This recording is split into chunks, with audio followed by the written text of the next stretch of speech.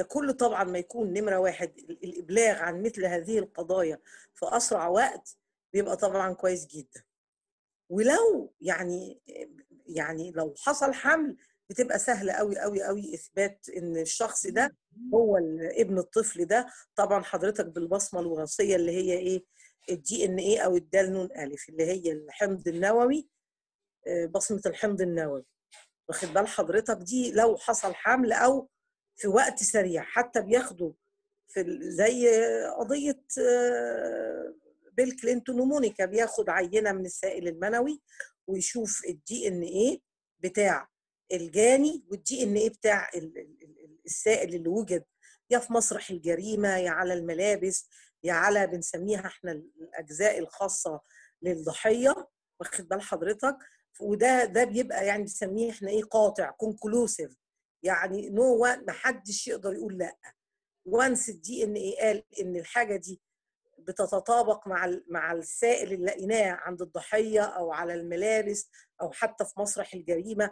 يعني إحنا شفنا عندنا مرة كان على الأرض وخدنا منه scratch واحتفظنا بيه طبعا بال containers بكل الاحتياطات اللي واجب اتباعها.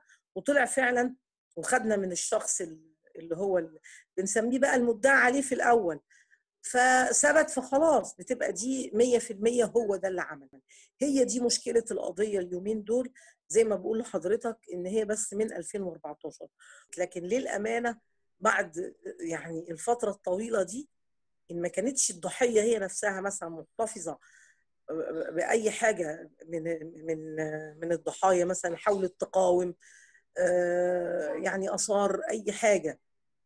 لكن بعد ست سنين صعب إحنا داخلين كمان على 2021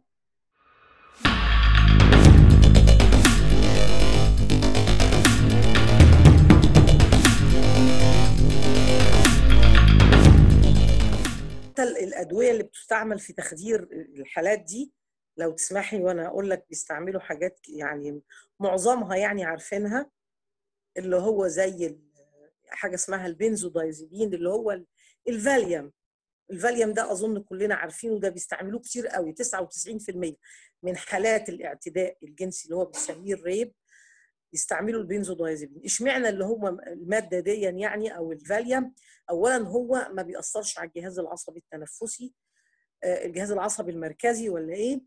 ولا يعني إيه بيسبب اختناق أو بيسبب تثبيط لمراكز التنفس هو فعلا بيعمل زي شبه إيه؟ غيبوبة خفيفة جدا جدا درجتها بنسميها حتى درجة zero. الغيبوبة درجات zero 1 2 3 4 لا ده بيسبب درجة zero. لكن اللي خد أو تحت تأثير هذه المادة بيبقى مش مش مركز هو بالظبط بيحصل له إيه أو وإحنا في الطب برضو ممكن نستعملها في حالات بسيطة فتح خراج سوري طهارة طفل صغير كده يعني. فدي بس دي برضو مشكلتها إنك عشان تكشف عنها ما بتقعدش في جسم الضحية أو يعني الإنسان عموما أكتر من 3 ل 5 أيام. في بعضهم بقى بيستعمل وده وده كتير قوي قوي بقى دلوقتي لأنه سهل وموجود اللي هو الترامادول أو الترامال الترامادول برضو والترامال ده برضو إيه بيقلل الشعور بالألم مع إن البني آدم تجيله شوية يعني إيه بنسميها إحنا إيه تحس حضرتك إن هو عنده حالة فرح كده غريبة euphoria وشوية هلوسة على خفيف. لكن برضو مشكلة الترامادول أو الترامال ممكن برضو ما أقدرش يعني أكشف عنه في جسم الإنسان whatever هو كبير صغير سيدة رجل مسن أكتر من خمس أيام. نيجي بقى اللي هم كانوا الفودو والستروكس بيستعملوا بالذات الفودو أكتر الستروكس بقى بيخافوا منه لأنه بيموت بسرعة. الفودو انت عارف هو من مشتقات الحشيش المخلقة. فبس للأسف لغاية دلوقتي ما عندناش في مصر أي حاجة تقدر تكشف عن وجود الفودو. هيبقى فاضل لنا اللي هو بقى الأصل وبرضه بيستعملوه اللي هو الحشيش. الحشيش لو أول مرة برضه ما أقدرش أشوفه في جسم بني آدم أكتر من 72 ساعة. لكن لو هو اوريدي متعود عليه ده أنا ممكن أشوفه وبرضه أيام لغاية مثلا 40 يوم. هي دي كل الأدوية اللي ممكن تستعمل كمخ... يعني ك... ك... تأثر على الوعي في حالات الاغتصاب. لو لو لقى يعني بنسميها إحنا مسح مسح الأدوية المخدرات اللي أنا قلت لك عليها دول اللي هو الحشيش والترامادول والبنزو وساعات الأفيون كمان بس الأفيون ما بقاش مشهور قوي قوي قوي دلوقتي. مش مش مشهور يعني الترامادول بنقول عليه خد ال upper hand يعني خد اليد العليا عن الأفيون طبعا واخد بال حضرتك؟